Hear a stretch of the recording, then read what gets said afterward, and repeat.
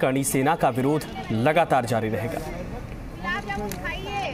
जयपुर में तांडव का एक अनोखे तरीके से यहाँ पर विरोध किया जा रहा है जो वेब सीरीज़ तांडव आई है उसका विरोध करने के लिए जयपुर में जो गधे हैं उनको यहाँ गुलाब जामुन खिलाकर एक विरोध प्रदर्शन किया जा रहा है। करणी सेना की ओर से ये विरोध प्रदर्शन किया जा रहा है जो महिला विंग है करणी सेना की उसकी राष्ट्रीय अध्यक्ष कीर्ति राठौड़ हमारे साथ बातचीत करते हैं। मैम किस तरह का ये अनूठा तरीका अपनाया है और क्या विरोध में कहेंगे? मैं कहना चाहूँगी बॉलीवुड के इन भांडों को कि अब भी सुधर जाइए, अपने हिंदुस्तान में रहते हुए हिंदुस्तान के रीति रिवाजों, सभ्यता और संस्कृति को बदनाम मत करिए, अपने देवी देवताओं का हिंदू संस्कृति का अपमान मत करिए और आप सच्चे हिंदुस्तानी बन के दिखाइए, हम आपको मीठा खिला रहे हैं, ये दिखाते हुए, ये सिखाते हुए कि अपने गधे जैसी बुद्धि को अब थोड़ा घोड़े में बदलिए।